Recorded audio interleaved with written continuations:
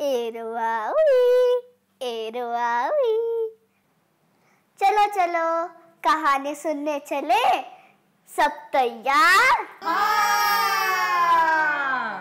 एक दो तीन। अन्ना मणि एक भारतीय वैज्ञानिक थी जिन्हें अपने चारों तरफ़ की दुनिया के बारे में पढ़ना बहुत पसंद था। चलिए झांकते हैं उनकी आठवीं सालगिरह के कुछ लम्हों में और देखते हैं उन्हें वैज्ञानिक बनते हुए। ये कहानी के बारे में एक नोट है। ये पुस्तक अन्नामणि के जीवन पर आधारित एक वृत्तांत है। कहानी का शीर्षक है, अन्नामणि, एक प्रखर मौसम विशेषज्ञ। कहानी लिखी है Nandita Jayaraj. Originally in English Anna's extraordinary experiments with weather इसका हिंदी में अनुवाद किया है पूजा ओमवीर रावत और चित्र बनाए हैं प्रिया कुरियन। ये प्रथम बुक्स प्रकाशन की पेशकश है। अन्नामणि ने अपने जन्मदिन पर केक पर लगी हुई आठों मोमबत्तियाँ फूक मारकर बुझा दी। जन्मदिन मुबारक हो, अन्ना। उसके भाई बहन चिल्लाए, अन्ना का परिवार काफ़ी बड़ा था और पहाड़ी पर बना उनका घर भी, पर अपने जन्मदिन पर उसकी बस एक छोटी सी इच्छा थी। अन्ना मणि ने अपना जन्मदिन का उपहार फाड़कर खोला और धीरे से अंदर झांका। अंदर कुछ चमक रहा था। हीरे के बूंदे? अय्यो उसको हीरे के बूंदे नहीं चाहिए थे। वो काफ़ी महँगे तो थे, पर उसके लिए बिल्कुल बेकार थे। क्या आप जानते हैं कि अन्ना वाकई में क्या चाहती थी? बस किताबें किताबें और ढेर सारी किताबें।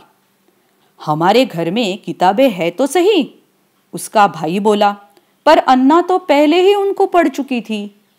पुस्तकालय में और भी किताबें हैं। उसके पिता ने इशारा किया, पर अन्ना ने उन सबको भी पट डाला था। वो नाराज़ होकर अपने कमरे में चली गई। हम्म। कुछ देर बाद अन्ना मणि के दरवाजे पर एक दस्तक हुई, पर बाहर तो कोई भी नहीं था, पर कुछ तो था। वही दरवाजे के पास रखा था एक बहुत बड़ा डब्बा। अच्छा होगा अगर इसमें और गहने ना हो, उसने ज़ोर से कहा। डब्बे में गहने नहीं थे। उसमें था एकदम नया विश्व कोश संग्रह, यानी कि एनसाइक्लोपीडिया। इतनी सारी किताबें, आहा! अन्ना भागती हुई बाहर गई और सभी घर वालों को गले लगाया। बहुत सालों बाद और बहुत सारी किताबें पढ़ने के पश्चात अन्ना को एक प्रसिद्ध वैज्ञानिक की प्रयोगशाला में नौकरी मिल गई। मुझे यहाँ क्या करना होगा? अन्ना ने पूछा। वैज्ञानिक ने एक डब्बे की तरफ़ इशारा किया। क्या आप बता सकते हैं कि उस डब्बे में क्या मिला? हीरे! अयो अन्ना ने कहा।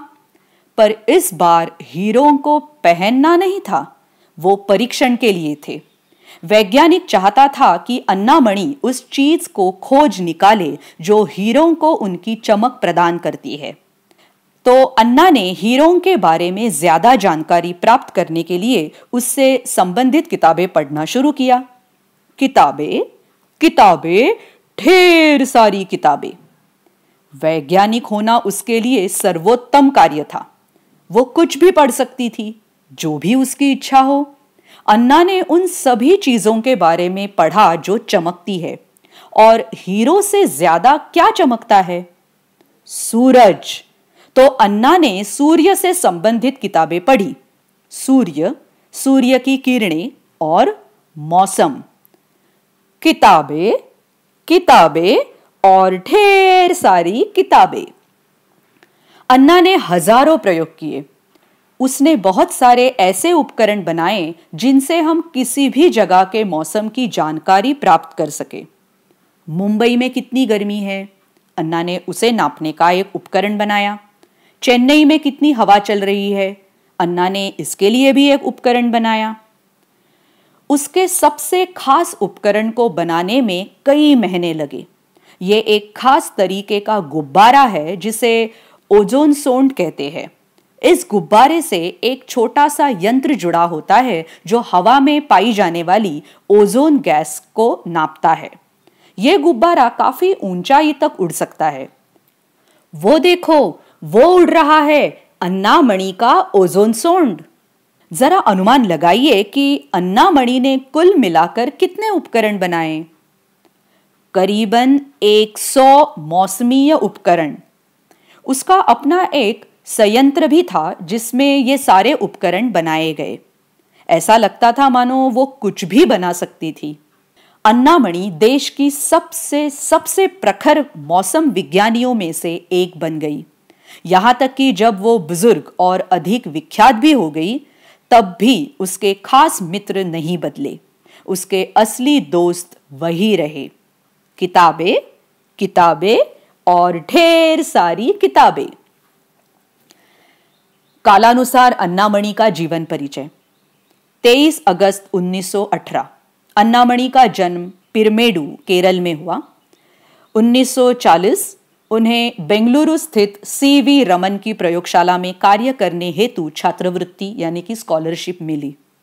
1945 वे मौसम विज्ञान की पढ़ाई करने इंग्लैंड चली गई।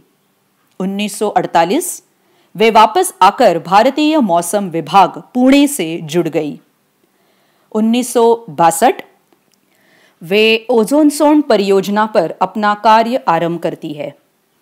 1976 वे भारतीय मौसम विभाग में उप महानिर्देशक के पद से सेवा मुक्त हुई 1980 के दशक में अन्ना ने उपकरण बनाने की अपनी स्वयं की कंपनी शुरू की। 16 अगस्त 2001 केरल में अन्ना मणि का देहांत हो गया। अभी देखते हैं मौसम से जुड़े मज़ेदार शब्द। मिटियोरोलॉजिस्ट, ऐसे बोलिए मिटियोरोलॉजिस्ट। ऐसे वैज्ञानिक जो विभिन्न क्षेत्रों के मौसम एवं जलवायु का अध्ययन करते हैं। अन्नामणि ऐसे ही सर्वश्रेष्ठ वैज्ञानिकों में से एक थी। ओजोन सोंड। ओजोन सोंड ऐसे गुब्बारे होते हैं जो आसमान में खूब ऊँचे उड़ते हैं। इन गुब्बारों में ऐसे उपकरण जुड़े होते हैं जो वायु में उपस्थित ओजोन की मात्रा को नापते हैं। ओजोन हमारे लिए महत्वपूर्ण है क्योंकि वो सूरज से आने वाली हानिकारक किरणों से हमारा बचाव करती है। वायु में ओजोन की मात्रा का कम होना हमारे लिए चिंताजनक है। अगर आप एक वैज्ञानिक बन पाए तो आप किस विषय का अध्ययन करना चाहेंगे? कहानी खत्म, मुझे और एक सुननी है उसके बाद और एक। अच्छा अच्छा। आपको भी सुननी है ना और कहानियाँ? तो चलो मेरे साथ W W W dot books dot com पर। एरवाई एरवाई